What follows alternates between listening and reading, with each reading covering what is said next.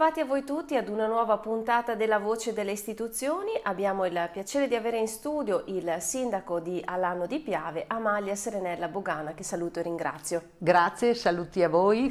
Grazie per essere qui con noi, sindaco, per fare il punto sulle recenti attività che riguardano la vita del suo paese, la sua comunità. Partiamo da una grande partita eh, che eh, riguarda eh, tutto il sistema paese, il sistema Italia, ossia il Piano Nazionale di Ripresa e Resilienza perché di recente avete vinto un nuovo importante finanziamento. Eh, sì, ehm, in maniera inaspettata ma sempre stati ottimisti perché mh, grazie appunto alla collaborazione eh, degli uffici e eh, di personale che ci ha aiutato a creare questo progetto eh, sapevamo di aver fatto un progetto comunque eh, importante e anche ben strutturato, per cui ehm, siamo stati ripagati proprio di tutto un lavoro che è stato un lavoro importantissimo, pensiamo solo agli uffici nel creare tutte le convenzioni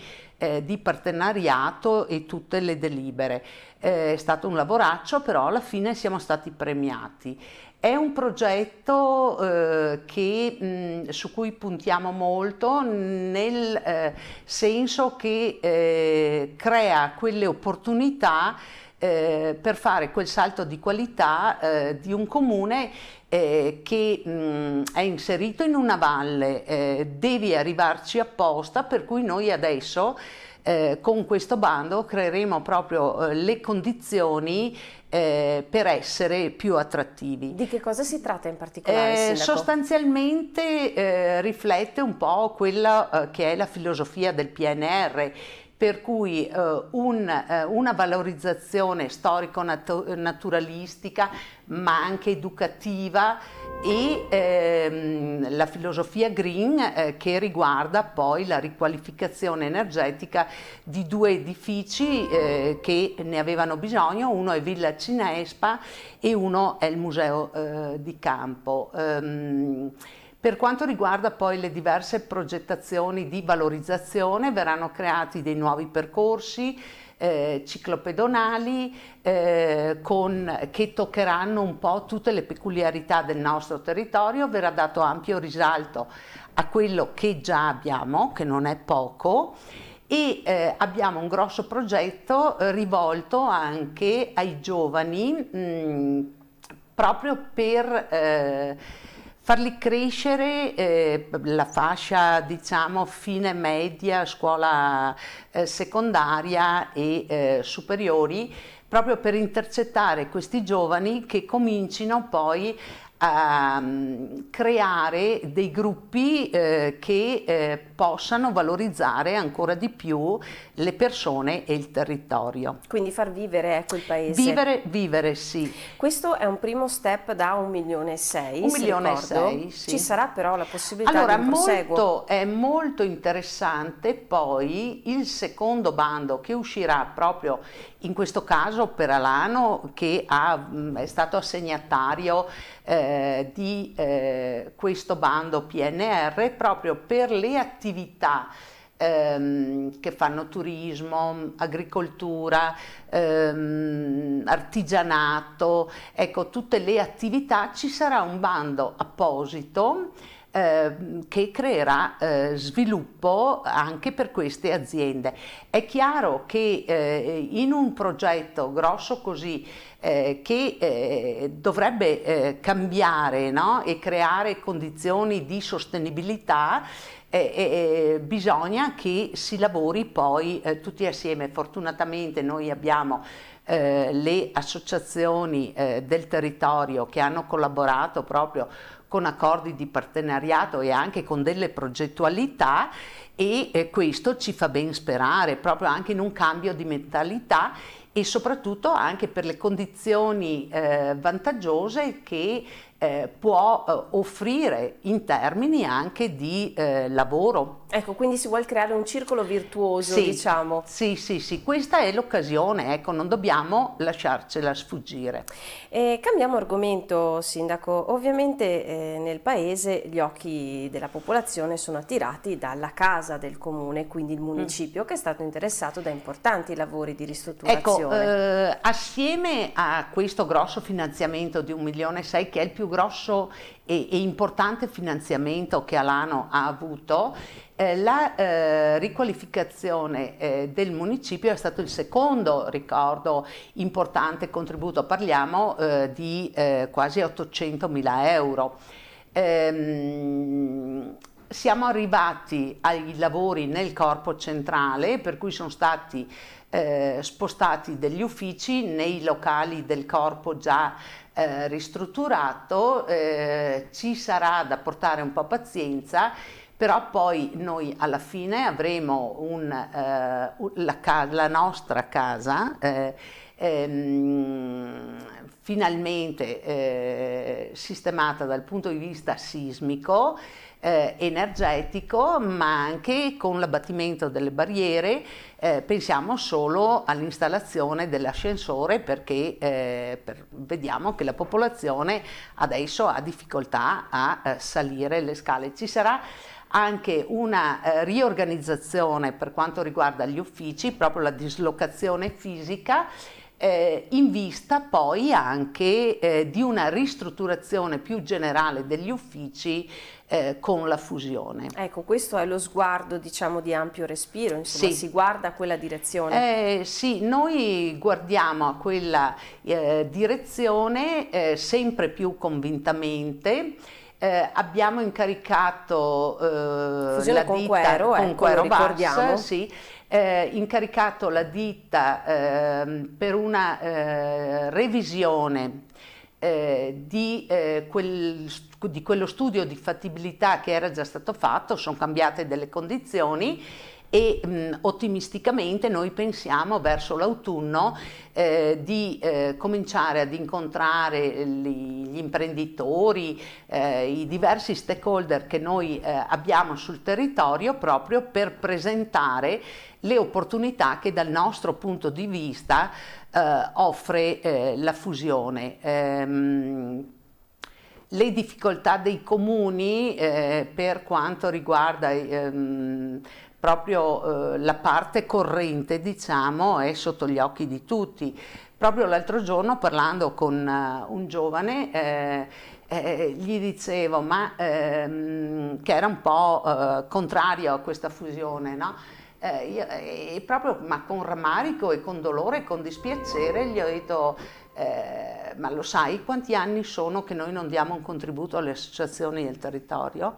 proprio perché eh, abbiamo un bilancio blindato, non abbiamo entrate extra se non quelle derivanti dalla tassazione, da quel fondo di solidarietà dello Stato e non ci permette proprio di sviluppare tutte quelle progettualità se non a grossa fatica e rinunciando ad altro eh, che vadano poi a sostegno dei servizi alla popolazione. Certo, in più in questo momento storico tra l'altro dove si parla di inflazione, di oh, rincari, certo, di costo certo. alle stelle appunto. Sì. Noi vogliamo comunque mantenere certi servizi, pensiamo solo al fatto che eh, il trasporto scolastico è gratuito per i nostri ragazzi con un grosso impegno finanziario, però noi lo facciamo proprio per dare più respiro alle famiglie che eh, diversamente eh, dovrebbero accollarsi anche questa spesa. In vari comuni della provincia si stanno facendo anche delle scelte dal punto di vista dell'illuminazione, magari per avere sì. dei risparmi nell'ambito notturno. Il comune di Alano in questo eh, caso? Noi eh,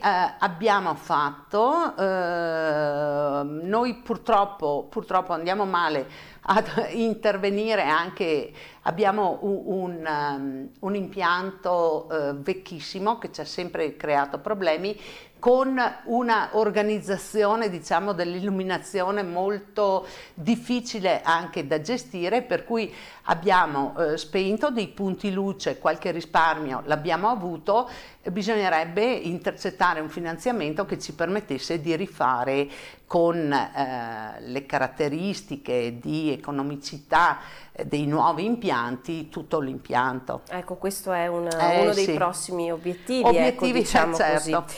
Guardando invece ai giovani, anche qui interventi per esempio per la scuola dell'infanzia. Sì, all'interno eh, quello è, vogliamo anche accelerare eh, per quanto possibile proprio eh, eh le, le progettualità di questo finanziamento proprio per garantire eh, ai, ai, nostri bambini eh, uno spazio adeguato. Adesso mh, mm, sono un po' sacrificati, lo ammettiamo, però con questo finanziamento riusciremo proprio a eh, sistemare tutta la parte esterna con la creazione anche di un parco giochi che eh, per, durante l'orario scolastico sarà a disposizione dei bambini dell'asilo, poi lo apriremo anche ehm, dopo la chiusura eh, della scuola dell'infanzia alla eh, popolazione su una zona verde adiacente alla struttura. Ecco, per quanto riguarda il trend delle nascite, com'è a Lano? Ma eh, siamo mh, mm, negli ultimi anni, proprio abbiamo fatto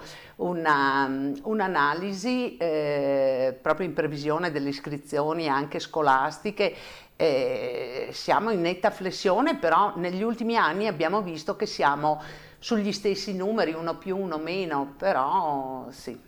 Questo è il grande problema. Questo è il grandissimo riguarda... problema che non è solo di Alano, ma certo. lo è di tutta la provincia. Certo. Se pensiamo che perdiamo mille persone all'anno, se non di più, ecco, eh, come, certo. dice, come dicevo a suo tempo, è la luce, un, un intero paese che si spegne, certo, una luce certo. della provincia e ovviamente, ovviamente diciamo ecco, nel suo ruolo anche di consigliere provinciale sa bene tutto eh, quanto sì, viene le messo dinamiche, punto. Sì, sì, ma è così, è così. Questo è il grande nodo.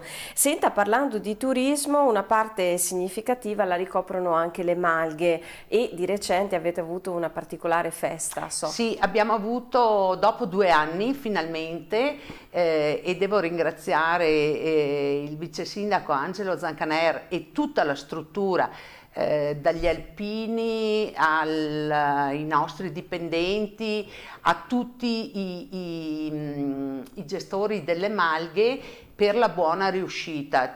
Oltre 350 persone eh, che hanno apprezzato moltissimo la bellezza delle nostre montagne e eh, soprattutto anche l'accoglienza eh, che hanno fatto.